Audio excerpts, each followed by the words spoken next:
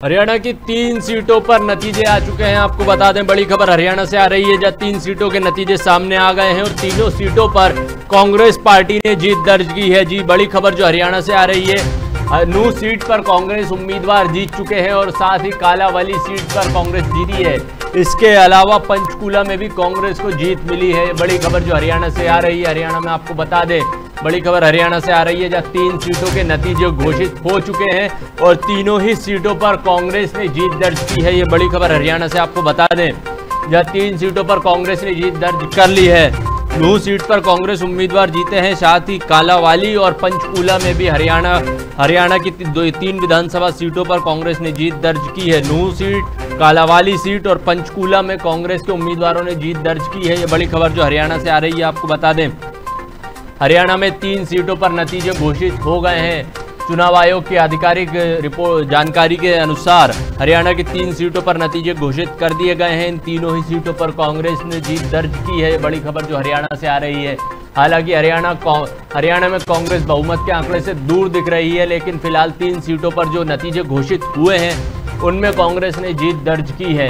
ये बड़ी खबर जो आ रही है। कालावाली सीट, पंचकूला और नू सीट से कांग्रेस ने जीत दर्ज की है बड़ी खबर आपको बता दें, हरियाणा से आ रही है। फ़िलहाल लेकिन कांग्रेस अभी बहुमत के आंकड़े से दूर दिख रही है। कांग्रेस 35 सीटों पर बढ़त बनाए हुए है, बीजेपी उनचास सीटों के साथ रुझानों में आगे दिख रही है। बीजेपी ने बहुमत का आंकड़ा भी पार कर लिया है।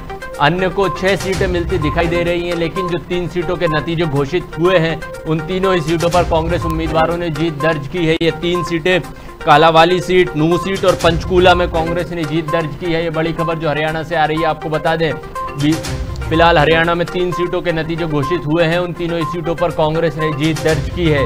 हालाँकि रुझानों में कांग्रेस अभी सिर्फ़ 35 सीटों पर आगे दिख रही है। वहीं बीजेपी उनचास सीटों पर आगे है और बहुमत का आंकड़ा बीजेपी ने रुझानों में तो पार कर लिया है। हालाँकि ये शाम तक और नतीजे सामने आ जाएँगे। उसके बाद पता चलेगा कि क्या स्थिति है हरियाणा में। फ़िलहाल जो तीन सीटों के नतीजे घोषित हुए हैं, उन तीनों ही सीटों पर कांग्रेस उम्मीदवारों ने जीत दर्ज की है। कालावाली सीट, पंचकूला सीट और नूह सीट पर कांग्रेस ने जीत दर्ज कर ली है। ये बड़ी खबर जो हरियाणा से आ रही है। हरियाणा में तीन सीटों के नतीजे घोषित कर दिए गए हैं। तीन सीटों के नतीजे आ गए हैं। इन तीनों ही सीटों पर कांग्रेस ने जीत दर्ज कर ली है। आपको बता दें, बड़ी खबर जो हरियाणा से आ रही है। फ़िलहाल हरियाणा में बीजेपी उनचास सीटों पर लीड कर रही है, बीजेपी उनचास सीटों पर आगे चल रही है और कांग्रेस 35 सीटों पर आगे है। वहीं अन्य के खाते में छह सीटें नज़र आ रही हैं। आपको बता दें, जो बड़ी खबर आ रही है, पिछली बार बीजेपी को हरियाणा में 40 सीटें मिली थी, उस हिसाब से बीजेपी इस बार 9 सीटों के फ़ायदे में फ़िलहाल दिख रही है। वहीं कांग्रेस को 35 सीटें मिली हैं और अन्य छह सीटों पर आगे चल रहे हैं। लेकिन जो अभी हरियाणा की तीन सीटों पर जो नतीजे आए हैं, उन तीनों ही सीटों पर कांग्रेस ने जीत दर्ज कर ली है। ये बड़ी खबर कांग्रेस के लिए है, जो हरियाणा से आ रही है, जब तीन सीटों पर कांग्रेस उम्मीदवारों ने जीत दर्ज कर ली है। नू सीट पर कांग्रेस उम्मीदवार जीत चुके हैं साथ साथ कालावाली सीट और पंचकूला में भी हरियाणा में, पंचकूला सीट पर कांग्रेस के उम्मीदवारों ने जीत दर्ज कर ली है। ये बड़ी खबर हरियाणा से, जो तीन उम्मीदवारों ने, कांग्रेस के उम्मीदवारों ने जीत दर्ज कर ली है। बड़ी खबर जो हरियाणा से आ रही है, आपको बता दें, हरियाणा में तीन सीटों पर नतीजे आए हैं और इन तीनों ही सीटों पर कांग्रेस ने जीत दर्ज कर ली है। आपको बता दें, फ़िलहाल कांग्रेस बहुमत के आंकड़े से फ़िलहाल दूर दिखाई दे रही है। बहुमत का आंकड़ा हरियाणा में छियालीस का है। फ़िलहाल कांग्रेस अभी 35 सीटों पर आगे है। अगर बहुमत का आंकड़ा पार करना है तो उन्हें 11 सीटों पर और अभी बढ़त बनानी होगी। बता दें आपको, कांग्रेस ने तीन सीटों पर जीत दर्ज कर ली है।